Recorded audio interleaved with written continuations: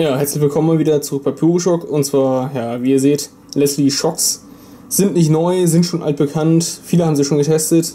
Ich hatte sie auch schon, aber wollte sie jetzt nochmal auf Video bannen für euch. Wenn es euch interessiert, könnt ihr es euch angucken. Wahrscheinlich kennen sie viele. Wie gesagt, fünf sind schon weg.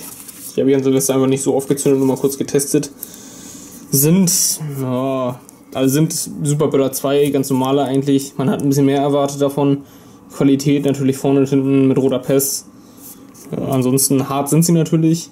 Haben eine insgesamt NEM, glaube ich, von 48 Gramm, wenn ich mich nicht irre, auf 20 Stück. Da. Ja, 2,4 pro Stück ungefähr. Was davon letztendlich zu halten ist, werden wir sehen. Als Vergleich, wie die so sind, aktuelle Superböller 2 von Komet. Das sind die weiß. Ach nee, sind doch schon, sind doch etwas ältere. Sind nicht die äh, weiß-schwarzen, sind die grün-weißen. Sind aber auch verdammt hart. Dürften ungefähr dieselbe NEM haben, denke ich mal. Ansonsten werden wir mal schauen, welcher so mehr zu bieten hat, ob die sich lohnen im 20er Pack oder doch lieber normale Super Böller 2. Ja, viel Spaß dabei und ihr werdet sehen. So, kommen wir jetzt zum Test der Leslie Shocks. Wie gesagt, äh, sollten eigentlich die super oder super besten Böller aus dem Jahr 2013 werden, waren hochgelobt. Letztendlich, wie gesagt, doch nur einfache D, äh, Super Böller 2. Ein bisschen anders gewandelt, äh, gewandelt nicht hier, gelabelt. Haben eine NEM von 2,4 Gramm pro Stück. Ein bisschen niedriger als die Booster B, äh, Big Booster 2 meine ich, sorry. Die haben glaube ich 2,87 oder so.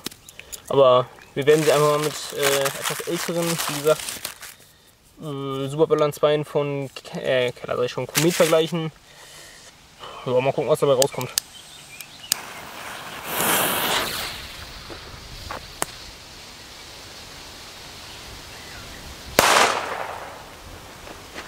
Der war schon mal nicht schlecht. Im direkten Vergleich einfach mal ein von Komet.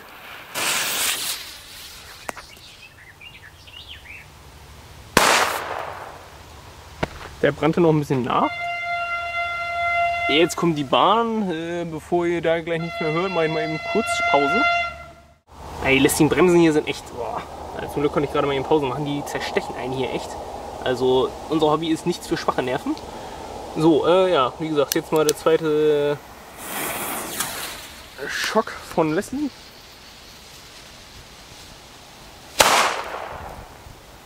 Ah, sind schon laut, aber ich finde die Booster, also die Booster sind auf jeden Fall besser, wenn man die kriegen kann statt denen.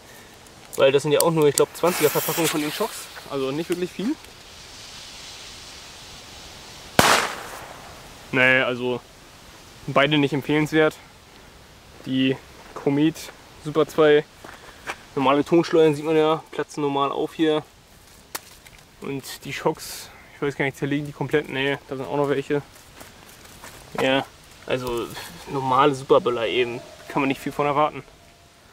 Naja, trotzdem noch schöne Teile, aber da muss Leslie wohl noch mal dran arbeiten.